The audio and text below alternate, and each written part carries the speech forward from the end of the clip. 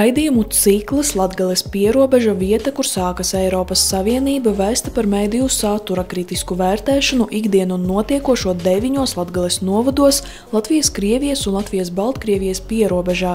Devītajā no desmit cikla raidījumiem esam ieradušies Ludzas novadā. Starp Ludzu un Rīgu ir aptuveni 265 km, un gluži tāpat kā vēstījām vairākos iepriekšējos raidījumos, arī no šejienes uz galvaspilsētu kursē tikai viens autobuss, kas brauc no Kārsavas, un Ludzā piestāja tikai 3.20 naktī. Brauciena ilgums ir aptuveni 4,5 stundas, tomēr vēl uz galvaspilsētu var nokļūt arī ar vilcienu Zilupe Rīga, agri no rīta vai vēlā pēcpusdienā.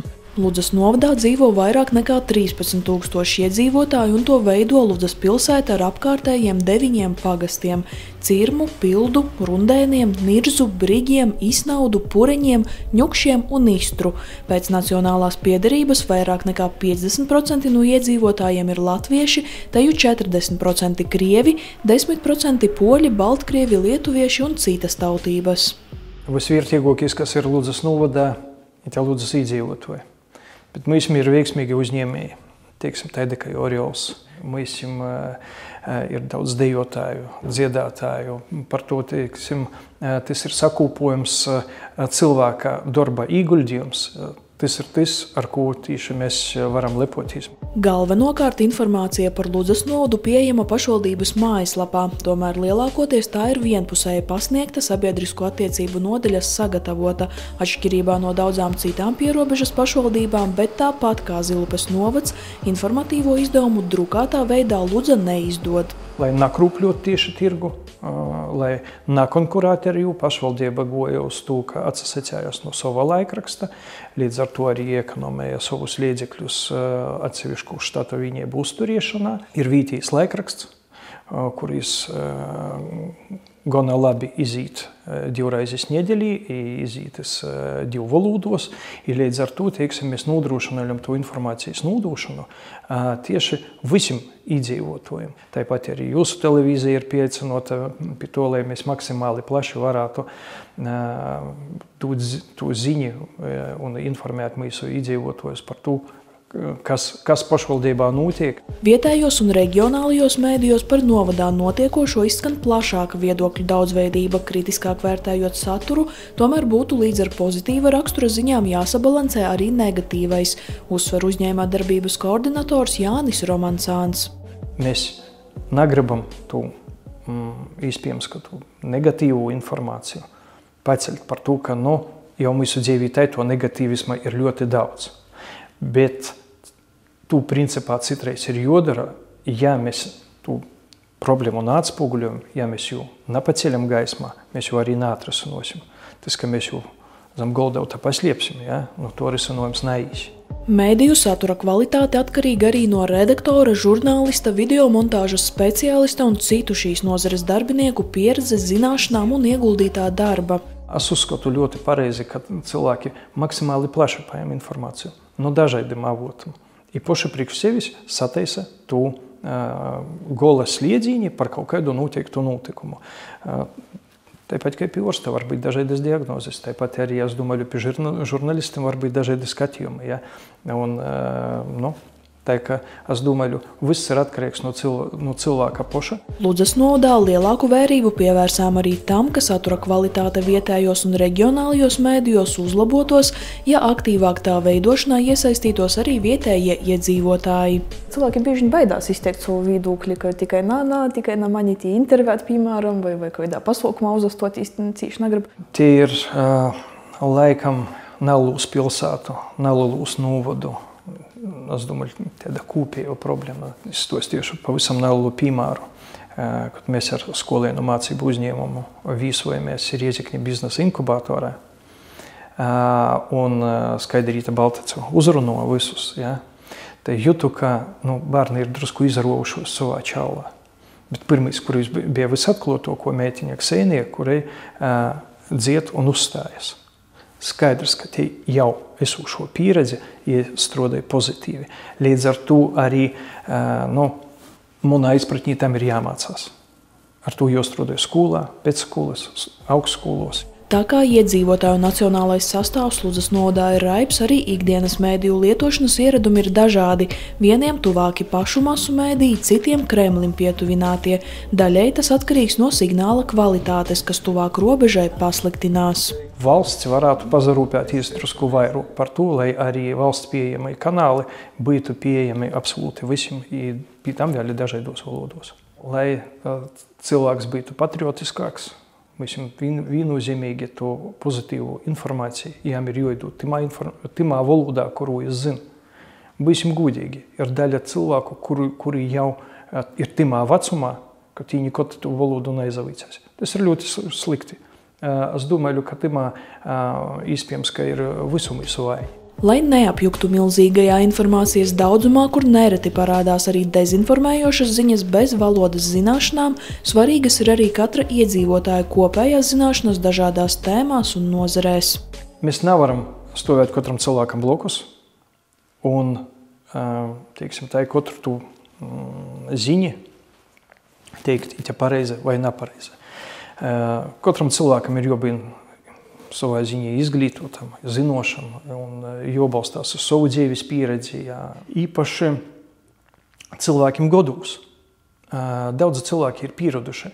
Ja tas ir rakstīts avīzī, tie ir taisnība. Ja to pateica televīzijā, tie ir taisnība, ja tāpat par radio, tie ir taisnība. Ja. Mums ir jāpasaka, nu, jo es skaidroju, visvairāk domāju, teiksim, tā, tā paudzē, kas ir vecāka. Tā kā Ludas nodā atrodas arī laikraksta Ludas zeme redakcija, viesojamies arī šeit. Laikraksts latviešu un krievu valodā iznāk divas reizes nedēļā, un tā tirāža ir ap 3300 un apkopotas ne tikai Ludas, bet arī Cīblas, Kārsavas un Zilupes novadu aktualitātes. Piemēram, kāzu jubilejas ir vai 60 gadu jubilejas, 70 gadu jubilejas. Cilvēkiem patīk to lasīt, tad viņi tur savu dzīves gājumu izstāsta. Mums ir ļoti daudz vietējā kultūras dzīvē, ja kaut kādi, e, kaut kādi arī ievērojamas personības tiek intervētas. Tad mums ir e, vairāki projekti, kurus mēs īstenojam. Tāpat kā mums šo raidījumu tapšanu finansē Mēdīju atbalsta fonds, arī laikraksts guvis atbalstu līdzīga veida projekta īstenošanai, kur rakstu sērijā par dezinformāciju un mēdīju pratību tiek apkopoti dažādu iedzīvotāju grupu viedokļi un pieredze. Piemēram, tur sabiedrībā pazīstami cilvēki kaut ko, kaut ko stāsta, nu, viņu viedokli par viltu ziņām un viņu, eh, viņu, viņu pieredzi. Nu, tad, tad mums ir vēl viens projekts, eh, Latvijas vides aizsardzības fonda projekts. Tur mēs stāstam par, par eh, atbildīgu atbildīgu dzīvesveidu un nu, videi draudzīgu. Tomēr atbalsts tieši reģionāliem un vietējiem interneta portāliem, laikrakstiem, radio un televīzijām projektu konkursos varētu būt lielāks vai vismaz līdzvērtīgs valsts mēroga mēdījiem, uzsver laikraksta Ludzas zeme žurnālists Dāgs Barkāns. Piemēram, laikrakstu dalību konkursos ļoti ietekmē tirāžas lielums un abonentu skaits. Tas ir tāpat kā ar skolām. Jā. Paskatās, ka skolā iet 20 cilvēki jāslēdz ciet, nu, 20 skolēni jāslēdz ciet. Jā. Un tā līdz uh, laukos vispār vairs nav skola. Jā. Nu, tāpat ir ar, man tā šķiet, kaut kā līdzīga ar šo valsts finansējumu. Tā kā mēs esam pierobežā un uh, pie mums ir vismazāk iedzīvotāji, tad mums arī vismazāk abonementi ir un, un uh, attiecīgi arī mēs vismazāk naudas saņemam. Nu, protams, tā ir palīdzība, bet un, un tādu vajag nu, noteikti turpināt, bet nu, viņa varētu būt arī lielāka. Pašlaik laikrakstu Ludzas zeme veido aptuveni desmit cilvēki. Uz vietas pārsvarā darbojas redaktoras vietnieks un maketētāja, pārējie attālināti. Jautājumi arī par pieredzi ar nepatiesas informācijas publicēšanu. Ja jūs tā jautājat, jā, tad eh, tāds viens nopietns atsaukums ir bijis tikai viens, jā, kur mums tiesa lika, bet tur ir jāuzsver, ka tā bija tā tiesas prāva pret Bartaševiču Rezeknes mēru, jā, un tur tiesa, tiesa apmierināja tikai kaut kur 10% viņu citātu. Jā. Un 90% mēs visu atspēkojām. Tas bija vienīgais tāds uh, oficiālais atsaukums. Jā. Protams, ir citas lietas, jā, ka tur Nu, tur precizējumi tiek likti, jā, kad, piemēram, tur kaut, kādi, kaut kādas kļūdas uzvārdos ir bijušas, vai, vai datumos, vai vēl kaut kas, vai nosaukumos. Nu, tā ir cita lieta. Jā. Dārgs Barkāns arī uzreiz min piemēru, kā šovasar sociālajos tīklos izplatīta informācija, ka Luzā smagi ievainota kāda sieviete, lidojot helikopteri un patrulē policija. Tomēr sazinoties ar institūcijām un pārbaudot faktus, izrādījies, ka informācija nav patiesa. Izrādījās, ka tajās dienās vispār neviens netika sadurts. Jā. Tas, ka helikopteri lidoja apkārt, tas, tas, tas varēja būt saistīts ar to, ka policija un robežsardzē šeit mācības bija. Ka pat tā, tādā mazā, mazā pilsētā kā Lūdza jā, var, var, var notikt kaut kāda de, dezinformācija. Tāpēc jābūt kritiskiem vienmēr, jau īpaši sociālajos tīklos, ja, ja kaut ko ieraugam jāpadomā, ko mēs tur izlasām. Varbūt neejam uzreiz stāstīt tur kaimiņiem. Gluži tāpat kā iepriekš par laikrakstu nākotni balvos jautājām laikraksta vaduguns un Daugopilī Latgales laiks vadībai, lūdzam arī Luzas zemē izteikt par to viedokli. Es redzēju to raidījumu par uh, Latgales laiku, jā, tur redaktori pasmējās, ka viņiem divi gadi vēl palikuši. nu, es domāju, mēs varētu, mēs, mēs, mēs ilgāk. Es domāju, tik, tik slikti nav. Raidījuma pirmo daļu ierasti noslēgsim ar dažiem interesantiem faktiem par Ludzas novadu.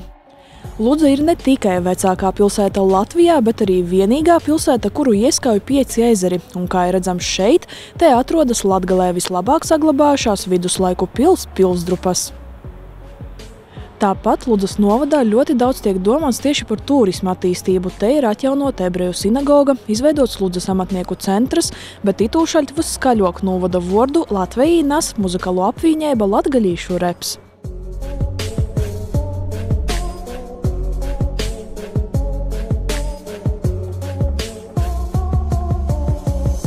Raidījuma otrajā daļā tiksimies ar dažāda vecuma un dzimuma Ludas novada iedzīvotājiem. Vispirms par saviem ikdienas mēdīju lietošanas ieradumiem lūdzam izstāstīt vairāk lauksaimnieku un uzņēmēju Sandri Grebežu, kas izveidojis Ludzā vienīgo kebabnīcu Kebab House.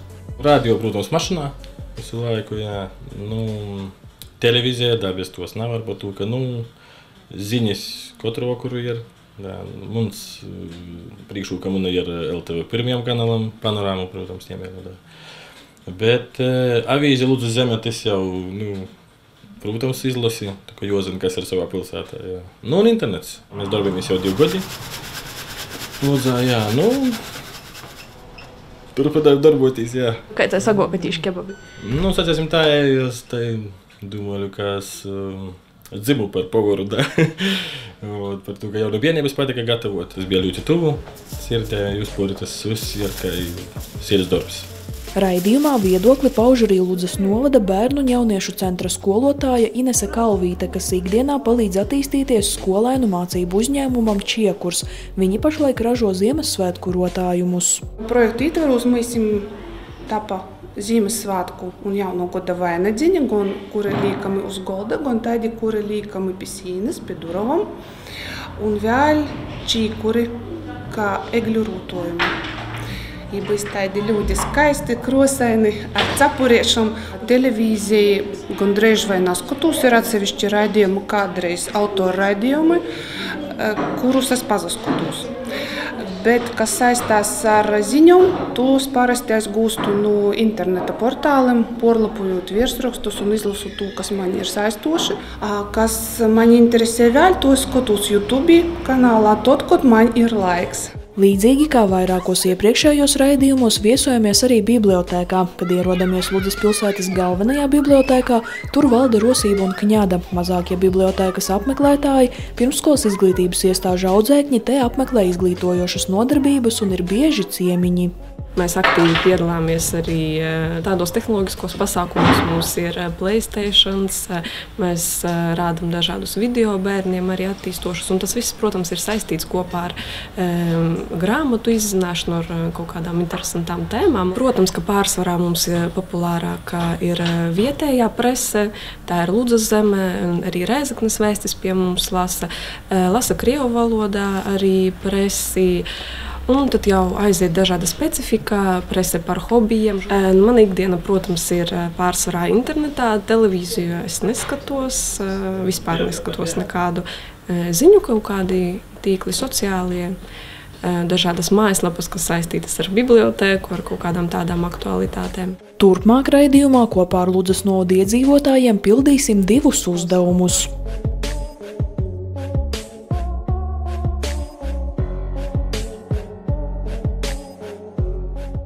Pirmais uzdevums - vai tu spēj atšķirt patiesu ziņu no dezinformācijas? Sagatavotas divas ziņas par Lūdzas novada veiksmīgu zemnieku saimniecības ciemu pie īpašnieci Santu Kuzmiku Lūdzas novada Brīģu pagastā, kas šogad kļuvusi par zemkopības ministrijas balvas sējais laureāti.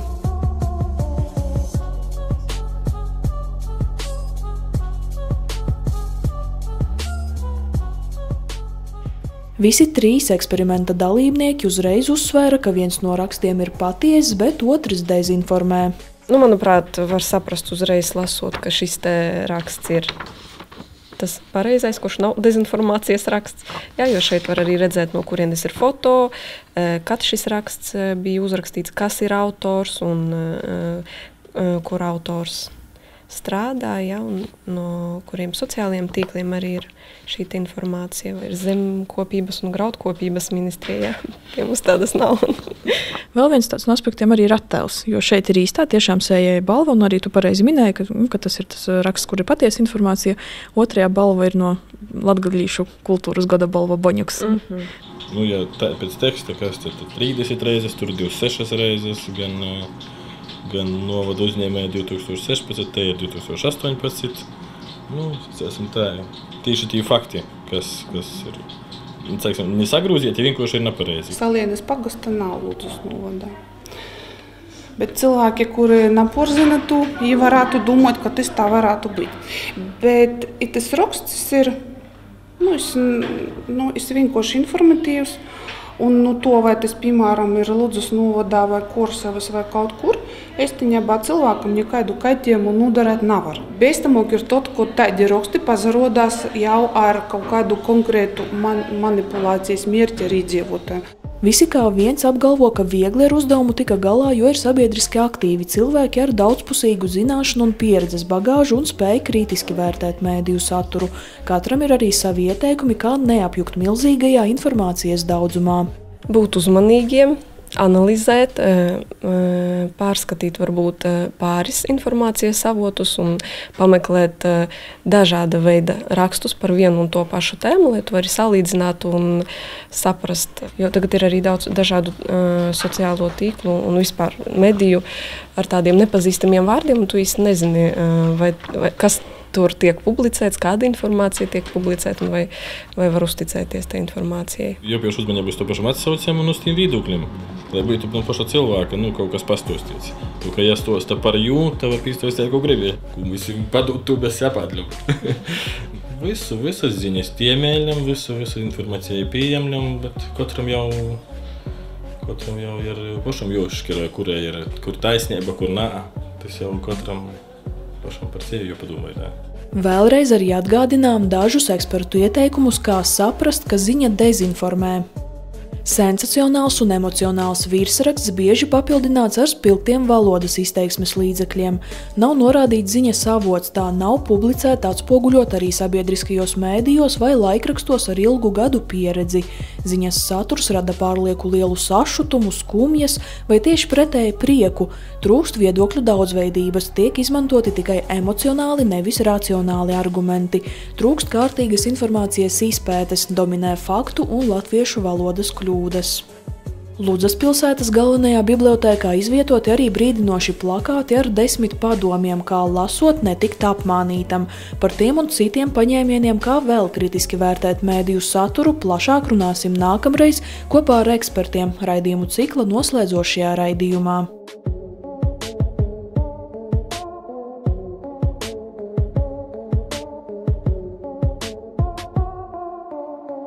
Otrais uzdevums - vai tu atpazīsti personības? Sagatavoti deviņu Latvijā un visā pasaulē atpazīstamu personību fotoattēli, kurus aplūkot aicinām arī Ludzas novada iedzīvotājus. Šajā reizē Baltkrievijas prezidenta Aleksandra Lukašenko attēlu aizstājām ar Ukrainas prezidenta Volodimira Zelenska foto, bet ministru prezidenta Krišjāņa Kariņa un ekonomikas ministra Ralfana Mīro vietā redzami ārlietu ministrs Edgars Rinkevičs un kultūras ministrs Nauris Puntulis. Levits mūsu prezidents, tad Trumps Amerikas prezidents Putins, Vladimirs. Tad tā ir Igaunijas prezidenta, jā, es nezinu, kā viņu sauc. Um, Ukrainas prezidents.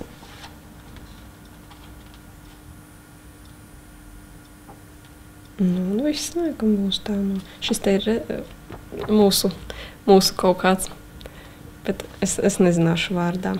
Kultūras ministrs Nauris Puntulis. Nu, Mitāmiņkās Ikauniju, jā, tikai neatceros uzvārdu prezidentē.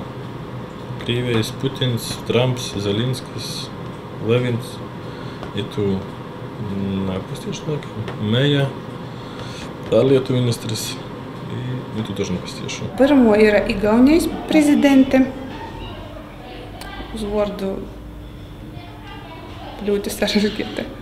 Это Krievijas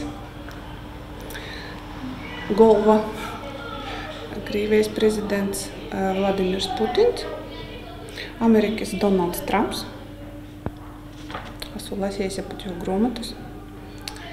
I tu personos tā kā jāpadomā būtu. Toļok sekoja mūsu prezidents Gils Levits.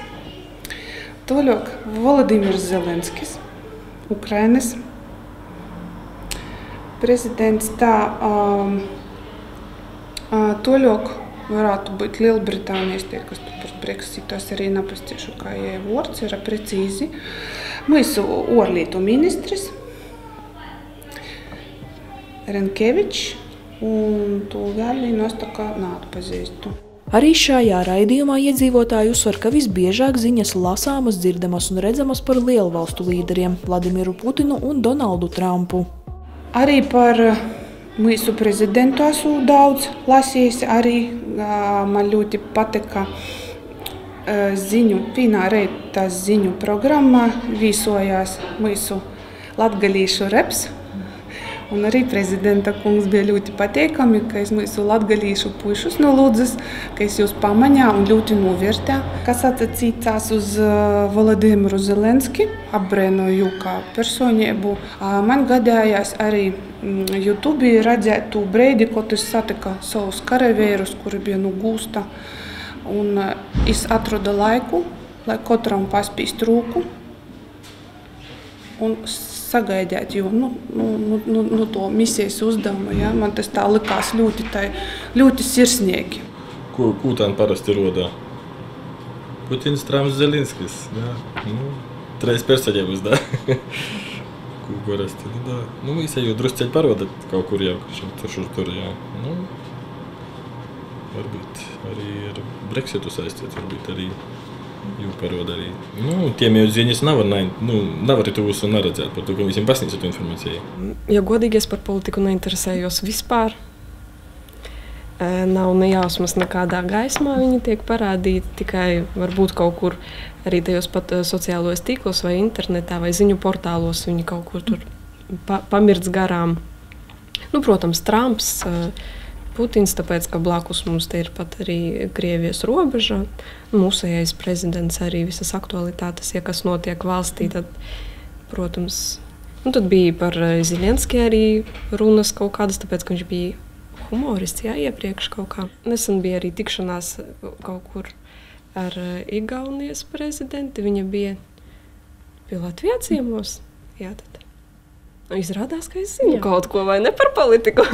Tomēr Ludus nodu iedzīvotājus vairāk interesē pozitīva rakstura informācija, nevis politikas aktualitātes. Tas rada tādu kaut kādu rezonanci, un tas viss tādā negatīvā gaismā, ka man liekas, nu, priekš kam to zināt? Labāk paskatīties kaut ko pozitīvāku un varbūt paskatīties ko tādu, kas palīdzēs personīgai izaugsmai. Vārdus būtu jāzina, nu, no kurienes viņi nākuši un kas tad notiek vispār valstī, tādai, valstī un pasaulē tādai kopīgai bildei. Man arī gribētos, lai mediji vairāk runātu par tiem cilvēkiem, kuri ir veiksmīgi kuri kaut ko ir izdarījuši, kuru rīcība ir apbrēnojama.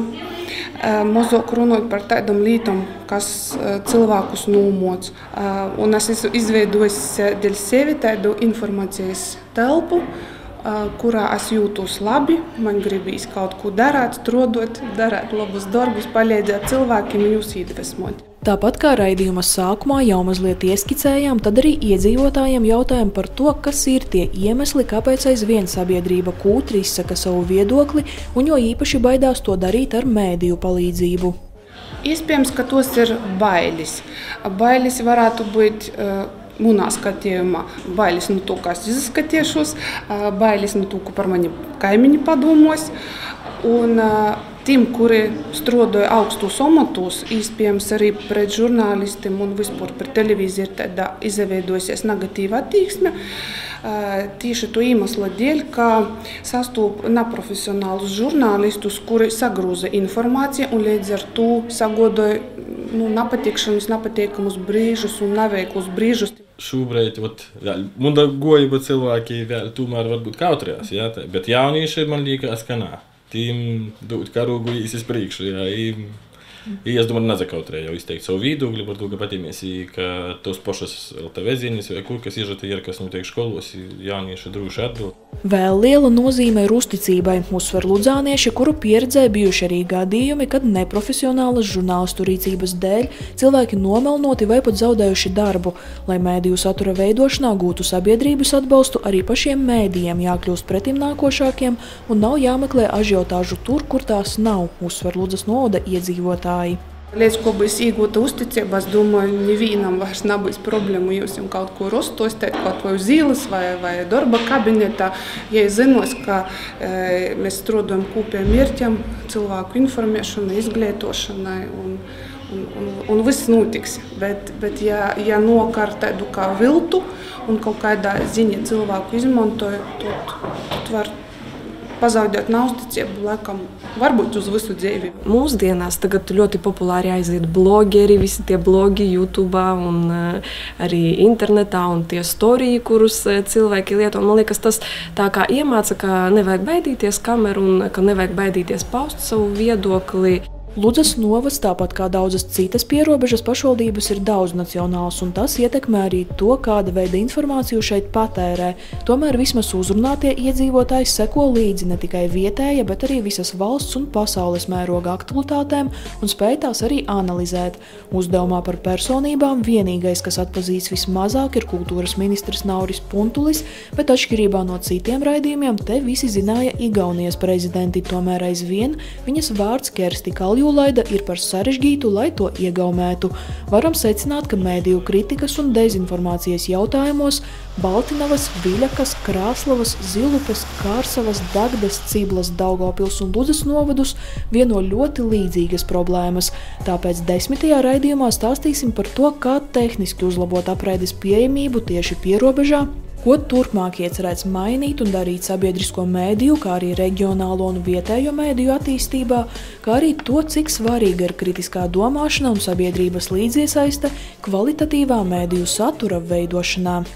Nākamreiz raidījumu cikla Latvijas pierobeža vieta, kur sākas Eiropas Savienība, noslēdzošajā raidījumā janvāra sākumā dosimies uz Rīgu, lai par dezinformāciju un mēdīju kritiku uzklausītu ekspertu viedokli. Liels paļģis par būšanu sūplok, izsazatikšanu nokušreiz.